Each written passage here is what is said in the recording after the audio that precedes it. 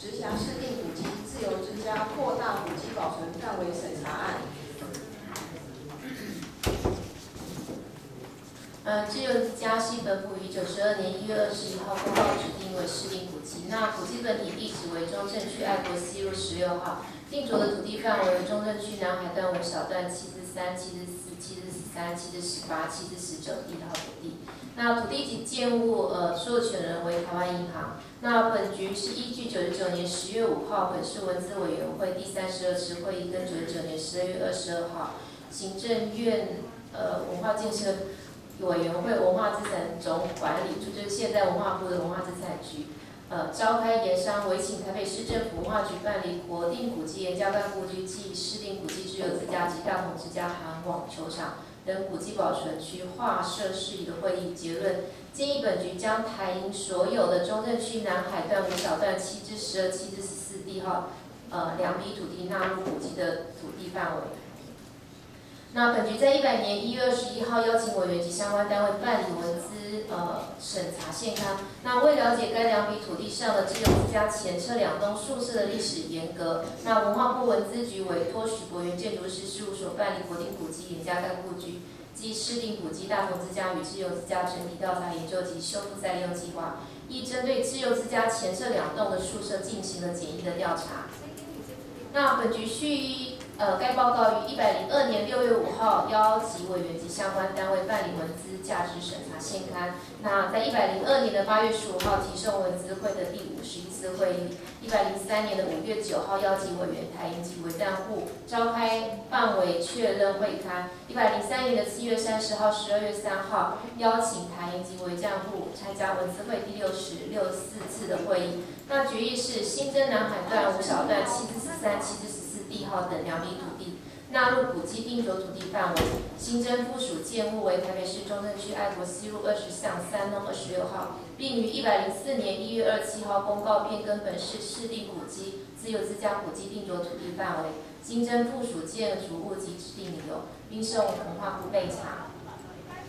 那本案因呃系因扩大自由之家古迹指定范围，虽已践行现刊。呃，现场勘查、召开审议会议、做成处分之决定及办理公告。那可是漏列了依据当时台北市市定古迹指定及废止及审查办法，呃，业于呃这个办法业于一百零六年的三月三十号已经废止的规定，召开指定公听会这个程序。所以此一程序瑕疵难以事后补正，所以本局在一百零六年的六月三号撤销一百零四年一月二七日公告的行政处分，并自一百零六年六月起九日起生效。那为了避免具文化资产价值的建物遭受破坏，所以在一百零六年的六月九号重组呃文化资产价值审查专业小组，邀集本市的文资委员。李乾朗老师、詹天全、黄世娟、王慧君跟李富国老师等人，以及房地所有权人的台银、文章呃住户居民跟本府相关单位，召开了中正区南海段五小段七至十二、七至十四地号土地及爱国西路二十四巷三弄二十六号街五纳入市定古迹自由之家范围专案小组的现刊。那结论为以下。一、本案专案小组委员皆认为南海段五小段七至十二、七至四地号土地及爱国西路二十巷三弄二十二号、二十六号建物具文化资产价值。有关专案小组委员会刊意见依文资法相关规定，呃，续送本委员会供审议参考。因本案提送本委委会审议时，请邀请现有违章户出席表达意见。那专业小组委员意见摘要如下：据古地图及照片史料，可以确定二十六号为日治中期即存在的建物，推测可能为当时服务人员所用的房舍。中正区南海段五小段七至十二、七至十四的地号土地与爱国西路二十巷三弄二十六号建筑，位于原台湾银行投取宿舍区内。那为日治时期新建的相关建筑，应一起保存，纳入古迹的保存范围。第三点是二十六号建筑。木构造部分经现场会勘，保存状况良好，其原大门面东，朝向自由之家。有基地的相对关系可以看出其原为头取宅的附属建筑。那同一期至十二、期至十四地后纳入市定古迹自由之家的范围。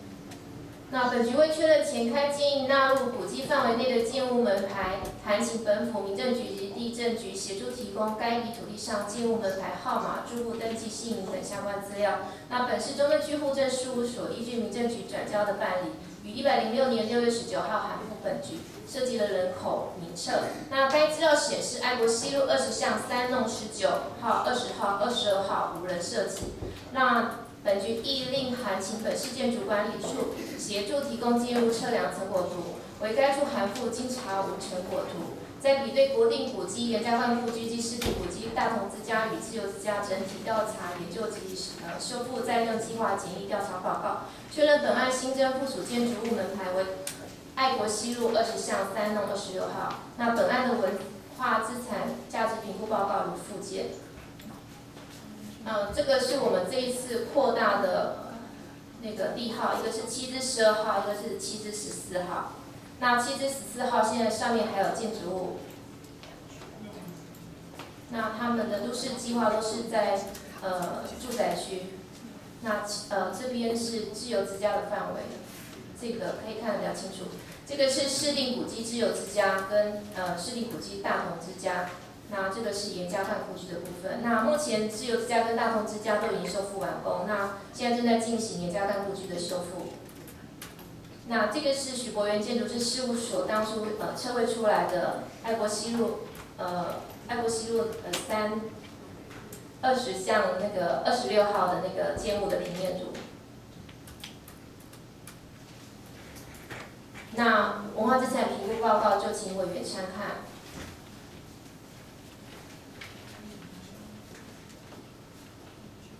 那未来管理维护财务的规划，依文字法第八条规定，应由所有人管理单位编列预算办理保存、修复及管理维护。那登录范围的影响评估，南海段五小段七至十二、七至十四地号纳入自由之家，有助于园区的整体再利用。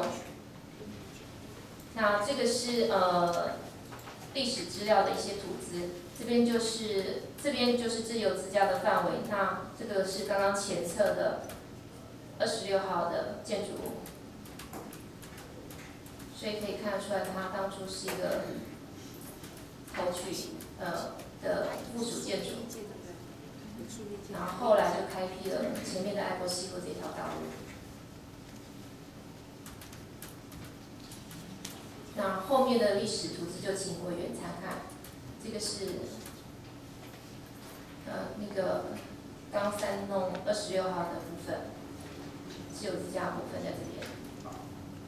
旁边有出现一些一些我丈夫的建筑。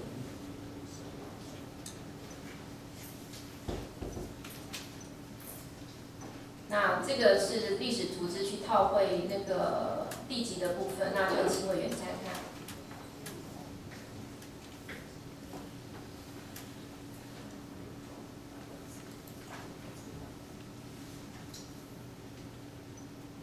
呃，会看照片就请委员参看。这个是爱国西路，那旁边这边是自由之家，那这个进去的部分就是我们这一次呃扩大的一个标的物，爱国西路二十巷三弄的部分。这个呃，因为它是有一些增建物，所以它的房子的巷道已经非常的拥挤。那这个就是三弄。二呃二十六号的部分，这是内部的呃现况图。那这边可以看出来，它当初这边应该是一个入口的地方，那后来应该是有一些呃整修。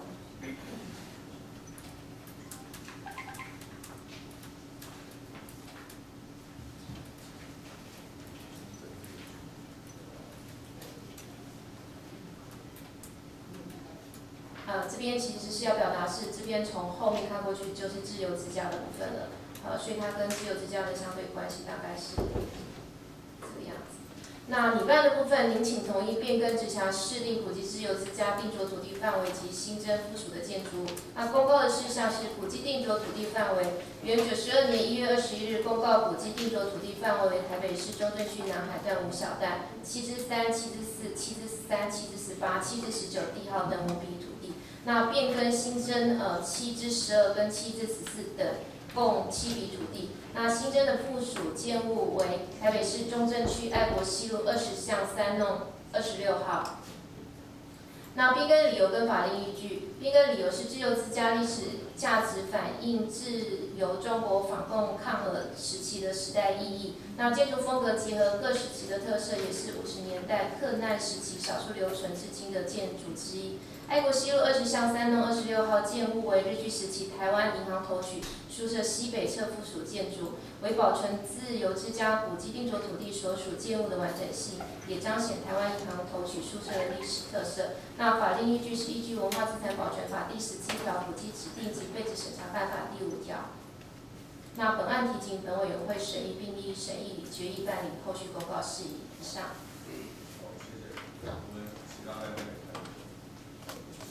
有要求。嗯，有。那今天那个台银没有出席，但是他有书面意见，可不可以让同仁先念一下？谢谢。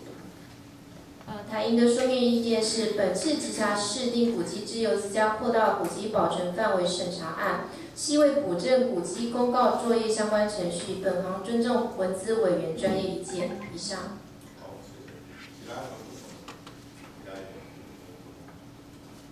户比较。有有人要补充？自由之家的，家的可以补充吗？没有。好，因为我们在一百零六年六月九号收到了那个文化局的那个把我们列入暂定古迹的行政处分，但是我们是在那住了六七十年，而且有合法的建物，还有使用权，还有地上权，但是他们在台湾也要申请古迹的这个修复再利用的这个申请里面，并没有征得我们的同意。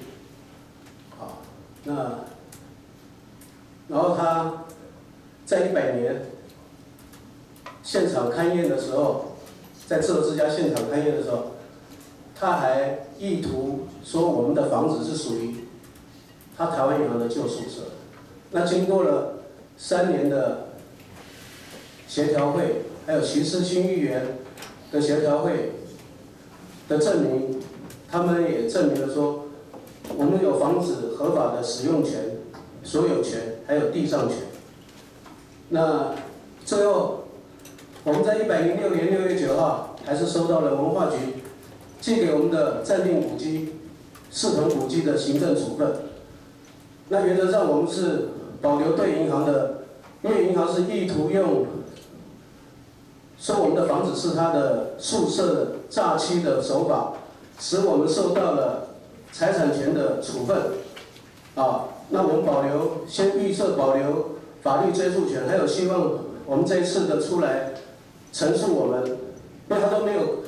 他没有给我们告知，从头到尾都没有。然后他们想说利用文职审议委员的古今指定权，那最后审议会都没有请我们参加，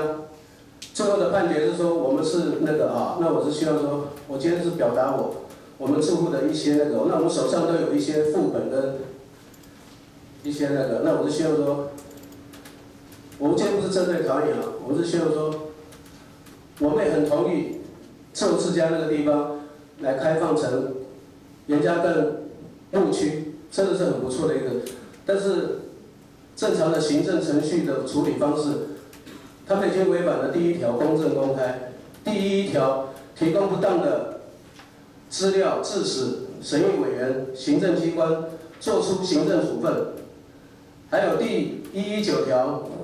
有明显的重大疏失、瑕疵，应该要取消原处分。还有行政法第三十九条，应该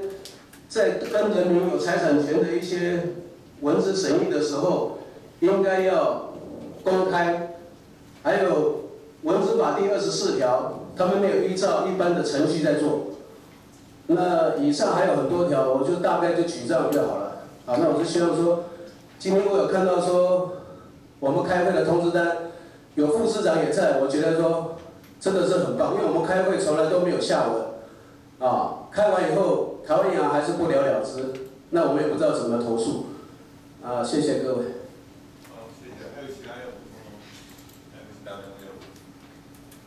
如果没有的话，我们待会儿那个程序的部分，来程序的部分，待会儿可以稍微说一下，待会儿可以。那个呃，主席各位，不好意思，因为我等一下要赶那个高铁去台去嘉义哈，我先呃发表一下就是那个我的意见哈。那因为我们那天也是会刊过以后，其实发现虽然有加了非常多的那个加建的部分，可是其实中间的部分都还可以看得出原来日据时期的那个呃样貌哈，所以应该从地理相关位置可以判断它应该原来的那个附属建筑，这是第一个部分。那第二个部分是因为它旁边只有自家大大同之家，其实已经修的差不多了，所以本来想要请教一下台银，就是对于未来的就是呃红法再利用的想法。不过今天台银没有出现哦，不过呃是不是未来他们有可能报告？以上谢谢。哦，这个台银未来需要我们来报告一下没有？但是就是说在报告之前，他们也许可以先把他们详细的出来，其他我也不说。我先把刚才澄清，首先在初步对这个指定的相关的程序，呃，也要说的。主席还有委员报告啊，其实大概有十七条的规定里面哦，只要建造物所有人就可以向主管机关申请指定古迹哦，那主管机关因法定的程序就是必须受理。那第二十条它暂定古迹是讲进入十七到十九条的话，那我们就叫暂定古迹。那进入以前当然会通知相关的人哦，包括赞助户。那赞助户其实可以包括今天都可以表达声音。那他刚刚讲的二十四条是在古迹修复过程中的公听会，哦，不是在指定过程中的公听会，所以它的程序上原则是没有问题的，哦，依照文字法来规定。哦，那到时候委员可以考量一下，就是第一个就是这边给的理由，当然委员可以自行参考，它是不是整体古迹的一部分必须的，哦，那如果跟考量起来是。它也算是有古迹的价值的话，那今天就可以做成决议。好，谢谢。那我们还是请教各位有没有什么指教的地方，针对这个案有指教的地方？是不晓得有哪那个在座哈，就是对于未来这个地方的活化，然后呃这个假如这个加入这个古迹以后，那它会扮演什么样的一个角色？今天有没有相关的？所以这个哈，建筑还有包括几个单位哈，我觉得台湾银行有一点不好意思哦，那个不负责任哦，南菜园都有来报告那个修复再利用，那包括文资局实在不好意思，最近打他们打太多，文资局是现在这个工程的修复单位哦，那也不能不管说以后再利用，那台北市政府也不实在不好意思，每一个案子这样审你们。哦，但是今天其实应该文资局要表示意见，整体修复完到底要做什么，包括这个区域，那这个部分都应该确实表达。那刚刚黄委员黄世娟老师的意思也是这个。哦，那这两个部分，不管是文字局或者是这个，我们今天都对这次决议要他们来提供相关的资料，好吗？好，其他委员有没有指教的地方？那等一下，其他委员有没有指教？有没有？好，来，坐吧，坐，坐。严夫人，啊，但是严夫人，严严家干部。哦，是，再请坐。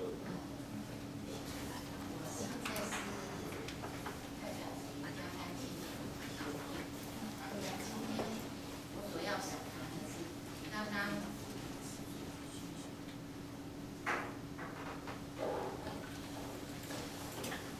刚刚大家所提出来的，对再利用计划大概这边给我们的，我们已经投过去再利用计划大概已经有三年，在还没有修复好之前，我们就已经把再利用计划送过去了，而且我们也申请了，我们是优先的跟经营者，那么所以我们是跟他共同经营的，共同经营再利用的合伙人。那么，所以我只能够跟各位说，这两块地再加入对整个严家干纪念园区有什么有什么差别？这个是因为这是在正门，这个正门我们才能够完整的呈现一个一个区块的完整性，这是我们需要。那么我们在上面不会有任何建筑物在出现，我们会有的是景观或者我们的门框，所以我希望各委员在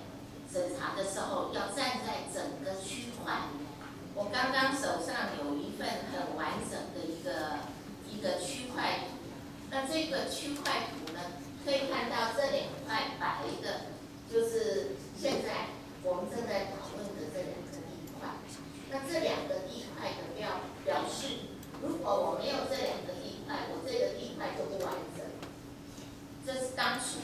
应该算是行政疏失吧，他在本来他就已经老早就列了，可是我不知道为什么又没有列进。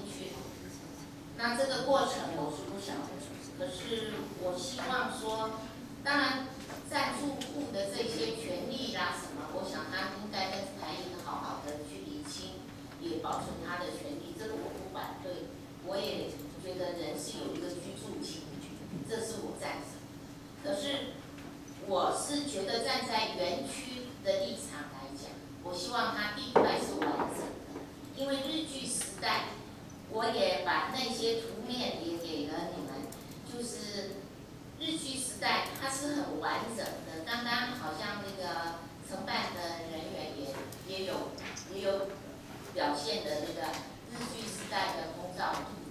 那么那个空照图里头也可以看到。这两块是都在里面的，那这个之后为什么会没有这两块？这是什么时候开始的？我也不清楚。不过到最后大家发现了以后，希望说弥补这个缺陷，所以我希望今天的委员能够成全其美，把它完整的呈现出来，整个历史风范。谢谢。好，谢谢。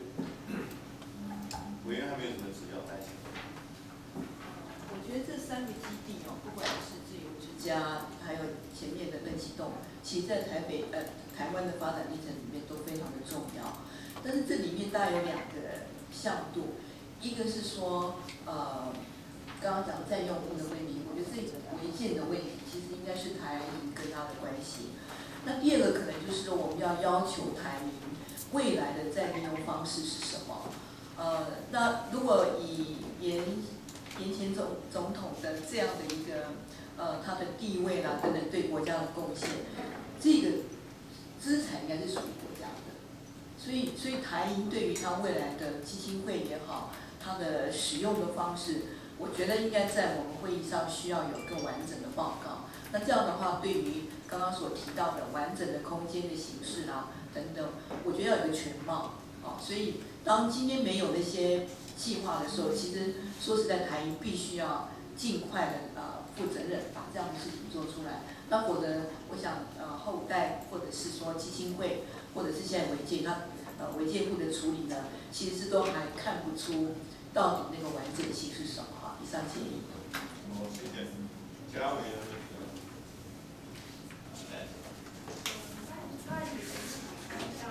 像现在都市计划的进度哦，就是我们这个范围是呃从自由之家、大同之家、严家干故居哦，就是这个原则上就是就是呃这这个范围就是除了像这个呃立法院会馆啊这些私有土地及那个之外这整个部分都是现在呃文化部在申请的那个严家干故居的那个都市计划案的范围。那这个范围，它是把现在，因为它的都市计划分区其实是住宅区，那本来在中间呢有两条三条的西部计划的道路会影响到未来园区的一个整体保存。所以现在是整个都把它从住宅区到用地变更为保存区。那整个都市计划案呢是在明天上午内政部分委会会去做讨论。那后续会有文化部就这一个整个园区的这个规划呃跟保存的部分去做规划这样子。以上是都市计划的部分。是的要注意要修正一下。这个自由，这个是自由之家，大东西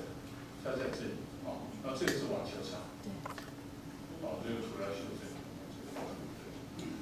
图是对，薛老师讲，哦，那个对不起，那个因为那个网球场是属于大同之家的，对，所以他那个所以他写是大董之家，但是前面才是大董之家的建筑物。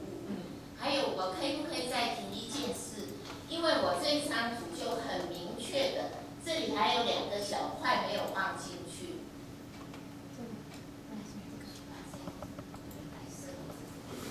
靠靠从墙的，明白？不能讲对对对，这这这这两块，因为那个非常狭窄，大概不到一平两平。哎，对。那我们这一次既然在讨论了，是不是一并做提出讨论？有一有两块很小的，大概七支七支五跟七支十三，七支五跟七支七三。那这个可以算是，哎，市定古迹，也可以算国定古迹的，因为它实际上是大同之家一部分，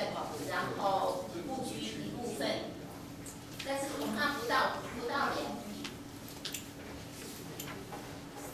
这是谁的图？文化部要报告啊，区域治理啊。这个部分是呃，我觉得这个部分原夫人的意见，我们跟我们今天文资局没有出席哈，那这个部分可能有待我们跟文资局再做一个比较精准的确认。哦，对吧？列入哦，列入大家想要我是报告，还有还有可以比较报告，局会来报告这个当做议题来拿列入。还要这个。